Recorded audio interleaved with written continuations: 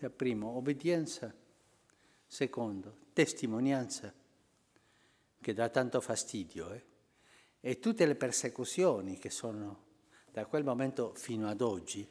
Pensate ai cristiani perseguitati in Africa, in Medio Oriente, ma ce ne sono più dei primi tempi. Oggi, in carcere, sgozzati, impicchiati per confessare Gesù. Testimonianza fino alla fine.